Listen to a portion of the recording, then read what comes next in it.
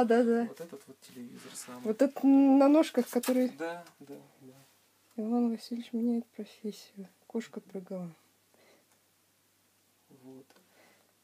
То есть э, один, было, ну, по параметрам был ну, очень неплохим телевизором для своего времени.